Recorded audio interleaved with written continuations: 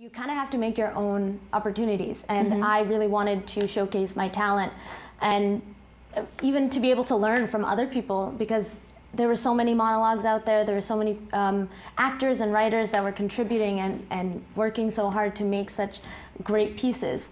And so I found that so interesting. So I, I made, I think I, I uploaded three, and I think one of them, uh, along with the writer, got top 20.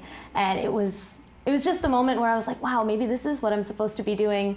And, uh, you know, maybe there is something more to this. It's not just a feeling in my gut, it's something that I might be really good Sure, at. it, gi- it gave you a taste of you know what what this could be you know for you as a career. So it was it was such a shock, but it was really great um, when I found out that I had placed top 20 and amongst so many amazing people.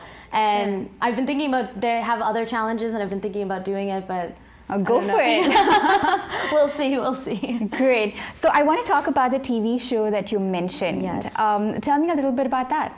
So it's entitled Breakfast in Bangalore, and it's a comedy. It's actually a it has a laugh track and things like that. And what's great about it is that it brings together the the comedic the comedic differences between ha- being an Indian from America and being an Indian who lives in India. Uh-huh. So the premise is that um, I'm one of three children, and our family, our father is American, and our mother is a Tamil Brahmin woman from India, Uh-huh. and they end up moving from New York uh, back to Bangalore, and it's the comedy that ensues between that those cultural differences. Sure. Yeah. Um, and I can already, you know, think of the different stereotypes that you might uh, be portraying in that show. Uh, can you tell me a little bit more about the content itself? Yeah.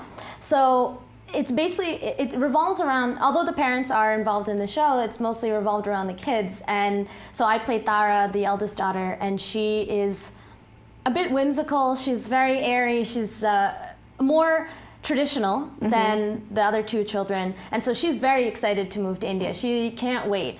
But she also has this other side of her where she wants to save everyone. She wants to do good. That's why she wants to be in India. And so she takes it to another extreme where she's trying to save every dog on the street and she starts collecting them. And it's the, the comedy that comes from just an NRI coming from from America coming back to India and the things that Indian people don't necessarily they're like what are you doing you know that doesn't make Yeah. any sense and so that so my character is a little bit naive but also good-hearted and so then we have um, we have a sister. I have a sister and a brother on the show as well, and they're more Americanized. Like one had um, my my sister Shweta. She has uh, pink and pink and purple hair, and she's kind of Watch the remaining show on ITV Gold.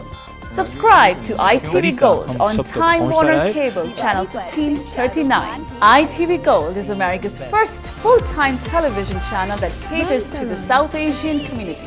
Your favorite dramas with English subtitles. Watch movies, back-to-back songs, award-winning local news coverage and much, much more. Subscribe to ITV Gold on Time Warner Cable channel 1539, part of the 8-channel combo pack for $39.95. And our East Coast viewers can also subscribe to ITV on RCN channel 476 and Cablevision on channel 1168.